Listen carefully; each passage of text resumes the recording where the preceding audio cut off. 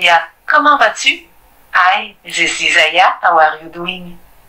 Je vais bien, Aya, merci. Alors aujourd'hui, j'avais envie de te partager euh, un passage que j'ai écrit sur ma fanfiction sur euh, ça, que, je- que j'ai écrit sur Wattpad, et euh, j'aimerais te raconter donc le passage que je pense avoir le mieux écrit, et j'aimerais que par la suite tu me re-racontes ce passage, mais de façon beaucoup plus détaillée. Bien sûr, je serai ravie de t'écouter et de te donner mon avis sur ton passage. Vas-y, raconte-moi.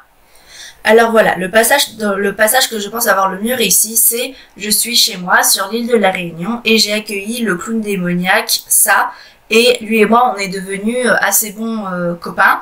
Et pour essayer de l'aider à s'habituer à manger autre chose que de la viande humaine, je décide de lui cuisiner des petits pains. Et sur chacun de ces petits pains, bah, j'ai dessiné son visage. Le problème, c'est que je n'arrive pas à décider du nom que je veux donner à ces petits pains. Du coup, je vais voir Pennywise et je lui dis, voilà, tu as trois noms différents. Tu t'appelles Pennywise, mais également ça, et également Gripsou. Alors, comment veux-tu que j'appelle ces petits pains? Est-ce que je les appelle des pépins, des sapins ou des gris-pains Et là, face au jeu de mots, Pennywise éclate de rire et ensemble, nous mangeons les cookies. Je vois, c'est un passage intéressant et amusant. C'est une scène amusante et pleine d'imagination.